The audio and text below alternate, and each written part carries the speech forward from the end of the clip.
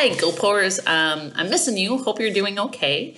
I uh, just want to let you know what you're going to be doing for the week of March 23rd through March 27th. If you go to Google Classwork, you're going to see a topic that says Civil Liberties and Civil Rights um, for the week of March 23rd through March 27th.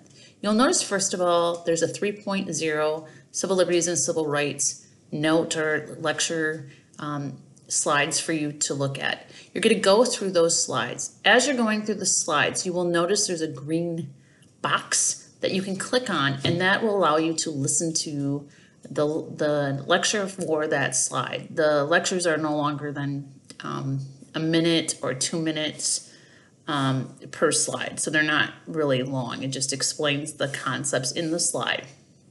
When you're done with that, you will see there's like embedded assignments in those lecture series. So it'll say do assignment um, 3.01 on the 14th Amendment that's due on Wednesday.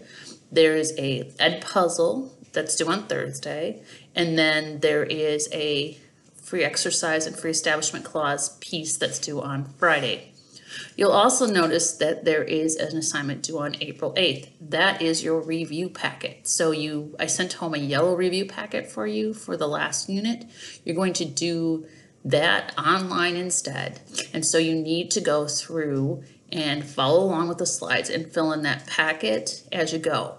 As you're doing that, if you could use different font or different color, that really helps me looking at that.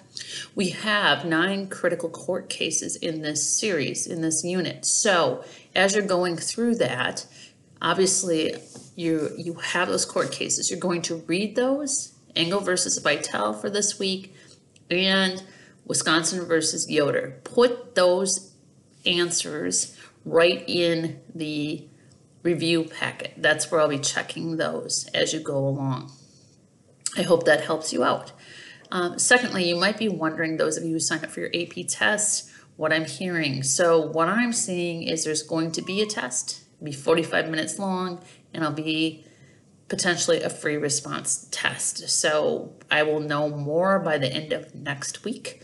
This unit on civil liberties and civil rights would be one of the units tested. So we want to make sure we go along and ask questions if we don't have things that we get, okay?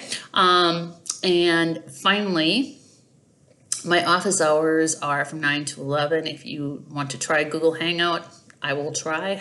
Not particularly great at it. You can always shoot me an email. I will respond within uh, probably pretty quickly, but um, within the day for sure. So just wanted to let you know that. And thanks everyone for all that you are doing to help the general welfare of this nation. Um, thinking of all of you and especially if your family are doing things that are essential for all of us like healthcare or um, working in grocery stores or gas stations or whatever your family's up to. I just want to say I'm really appreciative of that and you take care of yourself and let me know if you have any questions at all. Um, I'm here for you. Uh, thanks for being patient with me. Hope you have a great week. Take care. Bye.